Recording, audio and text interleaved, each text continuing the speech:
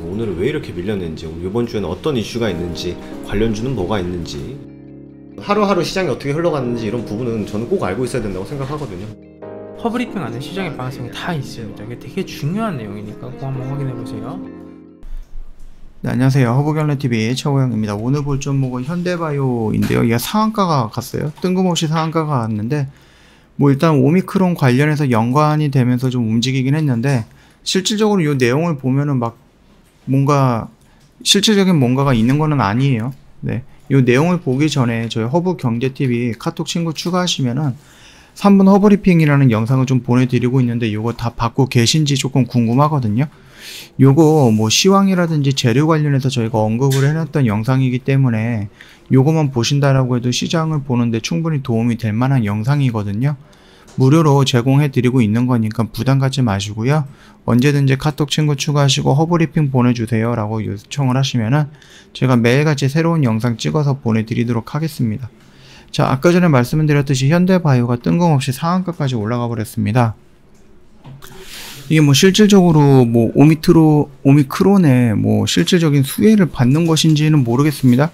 그리고 이 상한가가 지금 자리가 아니라 우리가 좀 예상했던 자리는 뭐 8월달, 9월달 이런 자리에서 좀 나왔으면 더 좋지 않았을까 그렇게 좀 보고 있는데 일단은 뭐 오미크론 등 코로나19 변이까지 해결하는 코로나19 경구형 치료제, 치료용 경구제 연구 성과가 공개한다라는 소식에 긍정적인 영향을 좀 미친 것으로 좀 풀이가 되고 있다라고 하는데요. 아니 뭐 연구 성과가 나온 것도 아니고 연구 성과가 나와서 긍정적인 효과를 미친다라는 내기가 나온 것도 아닌데 어 그 공개한다라는 소식에 이렇게 상한가까지 올라갔다라는 것은 굉장히 조금 어 급한 거가 아닌가 그렇게 좀 보고 있거든요. 아직까지는 얘네들 뭐 임상 1상으로 들어갔던 부분이었고 거기에서 아직 뭐 중간 결과 발표가 나오기까지는 너무 이른 것 같거든요 시간이 근데 벌써 중간 결과 발표가 나왔는지는 모르겠는데 이거는 너무 좀 이른 흐름이다 라고 생각을 합니다. 니클로사마이드의 흡수율과 그 반감기 문제를 해결해서 최초의 개량 신약 후보 물질로 좀 보고 있는데 대주주인 그 씨앤팜이 지난해 첨단 약물 전달체 기술로 니클로사마이드의 체내 흡수율을 끌어올려서 100% 항바이러스 혈중 약물 농도를 100, 어, 12시간 이상 유지하는 데 세계 최초로 어, 성공을 했죠. 그러면서 좀 긍정적으로 시장이 반응을 하면서 전임상 단계까지 진행이 됐는데 무려 주가가 한 7배 가까이 상장, 상승을 했다 라는 부분인데 너무 과하게 올라갔죠. 임상 일상 투약이 연내 마무리하고 연내 내년 초 이상의 돌입을 하겠다. 효능을 입증하는 대로 긴급 사용 승인 신청을 할 방침이다라고 얘기가 나오고 있는데 이 말뜻은 아직 투여가 마무리가 된 게 아니거든요. 투약이 일상에 대해서. 그런데 지금 상한가가 들어왔다라는 거. 이거 그냥 한번 그냥 뜨기 위한 부분인지 아니면은 추세를 전환하기 위해서 뭔가가 필요했는데 그 필요한 부분을 오미크론으로 연결해 가지고 그냥 재료를 만들어 버린 건지는 잘 모르겠습니다.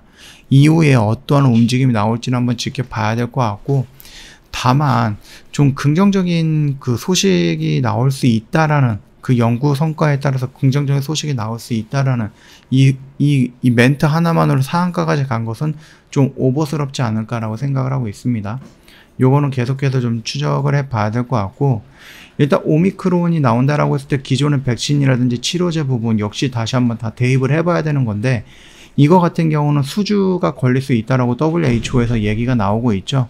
그렇기 때문에 이 기대감 하나 좀 과했다라고 좀 보고 있어요. 그래서 어 내일이라든지 아니면 이 양봉 이후로 상한가 이후로 어떤 움직임이 나와줄 것인가는 좀 지켜보는 것이 좋지 않을까라고 생각을 합니다. 너무 성급하게 대응할 필요는 없지 않을까 그렇게 좀 보고 있으니까 거기까지 좀 참고하시면 될 것 같고 자 우리가 이 박스권 안에서는 조금 괜찮은 자리다라고 언급을 해드렸는데도 불구하고 계속해서 좀 밀리고 있죠.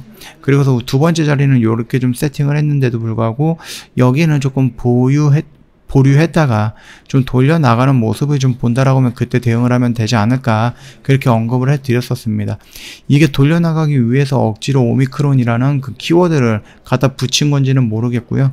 아니면 여기서 추가적으로 하락하는 걸 막고 좀 돌려 나가려고 하는 이런 모습을 연출하기 위한 뭐 이런 부분이었다라고 하면은 뭐 인정할 수는 있겠죠. 인정을 할 수는 있는데 이 라인에서 이 라인에서 우리는 조금 기다려 봐야 될 겁니다.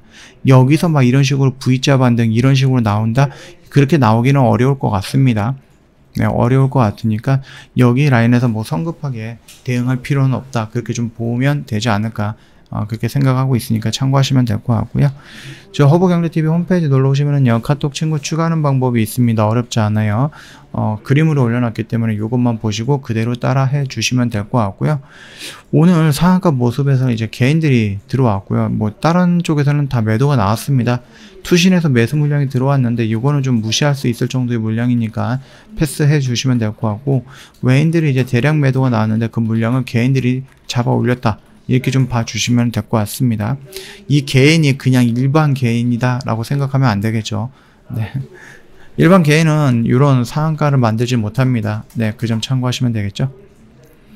저희 3분 허브리핑이라는 영상 보내드리고 있어요. 무료로 제공해 드리는 거기 때문에 어, 뭐 걱정하지 마시고 언제든지 부담 갖지 마시고 저희한테 요청을 하시면 저희가 보내드립니다. 영상 안에 보면은 뭐 시황이라든지 재료 관련해서 언급을 해놨기 때문에 지난 금요일날 허브리핑을 보면은 우리가 오미크린, 오미크론 그 당시에는 지난주에는 이제 누 변이라는 이름이 있었는데 그것도 저희가 언급을 해놨기 때문에 충분히 오늘 시장에 대해서 대응을 할 수 있는 시간적인 여유가 있지 않았을까 또 도움을 받을 수 있는 그런 뭐 어, 기틀이 되지 않았을까 그렇게 좀 생각을 하고 있습니다. 이 영상은 무료로 제공해 드리고 있어요. 그러니까 부담 갖지 마시고 신청하신 다음에 어, 혜택은 다 챙겨 가시면서 좀 도움을 받아 가시면 좋지 않을까 그렇게 좀 생각을 하고 있습니다. 자 오늘 영상은 여기서 좀 마치도록 할게요. 영상 도움이 됐다 그러면 구독과 좋아요 한번 부탁드리겠습니다.